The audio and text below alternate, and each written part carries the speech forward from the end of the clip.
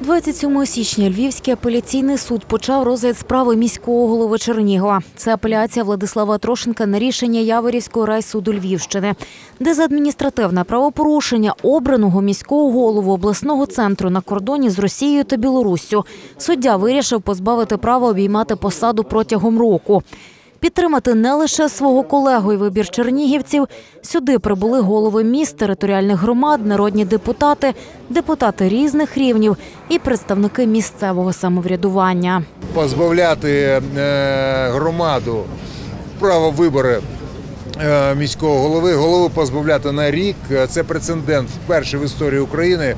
Е, Я переконаний, це напад на е, демократію, це напад на самоврядування. А самоврядування це, це ключовий базис демократії в будь-якій країні. Е, І тому зараз зібралось е, більше 30 мерів. Тому зараз всі багато мерів е, висловили своє відношення до цього, критичне відношення. І я переконаний в тому, що це рішення, яке тоді суд першої інстанції прийняв, воно не відповідає ключовим сьогоднішнім викликам це перше, і викликам е, демократичної країни. Але ми, українці, намагаємось стати європейською демократичною країною. І тому такий великий резонанс. Тому мери всіх міст України з'їхали зараз на, на Львів е, для того, щоб підтримати нашого колегу. І будемо, сподіваємось, е, нашими всіми силами відстоювати.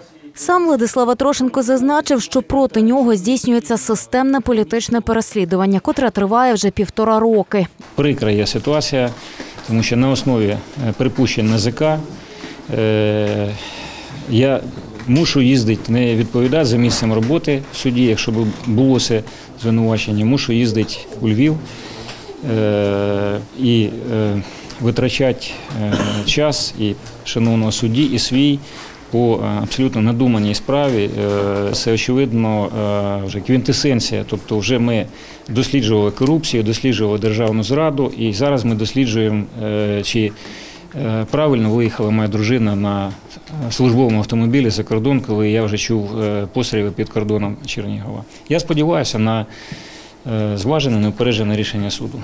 Міський голова Львова Андрій Садовий, який був присутній на суді, також виступив на підтримку Владислава Трошенка. На його думку, кошти витрачені на судові процеси по його справі краще було віддати на військо.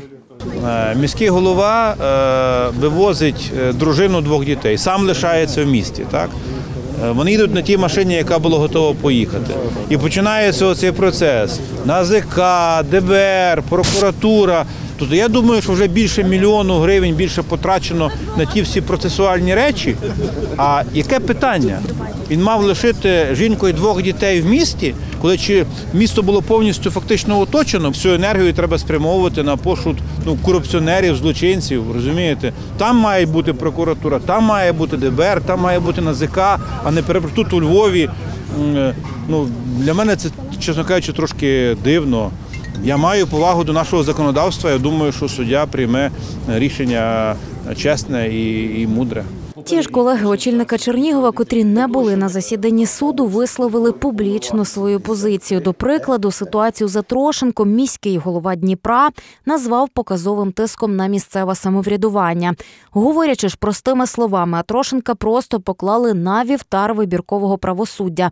Остаточне рішення у справі, за якою слідкують не лише чернігівці та інші українські громади і посли країн Великої Сімки, покаже наскільки глибокою є тенденція до згортання децентралізації в нашій країні, і чи дійсно в порядку денному держави немає інших питань, окрім виховних процесів для місцевого самоврядування, зазначив Борис Філатов і висловив сподівання на справедливе рішення. І, хоч до самої зали засідань пропустили невелику кількість людей, решта чекали результату розгляду на вулиці. Владислава Трошенко подякував усім, хто прийшов його підтримати. Я хочу всіх подякувати, е, всіх, хто е, підтримав. Це і Чернігів, Чернігівська область, е, і всі люди з усієї України. І особлива подяка. Я хочу подякувати Андрію Івановича і Віталія Володимировича, всіх мерів обласних центрів, які є тут, за підтримку. Це дуже важливо. Україна переможе. Дякую. Слава Україні! Так, спільний фронт. Очільник Чернігова звернувся і до львів'ян, котрі мимоволі стали очевидцями цього процесу, запевнивши, що незважаючи ні на що, Чернігів і далі буде північним форпостом України. Я дуже коротко хотів е, передати е, вітання від е, чернігівців львів'янам і запевнити, що Чернігів це Україна і Чернігів є і буде надалі північним форпостом України, і ми будемо стояти на захисті України завжди. Засідання апеляційного суду Львівської області по справі відсторонення міського голови Чернігова Владислава Трошенко продовжиться у середу 1 лютого о 10 ранку.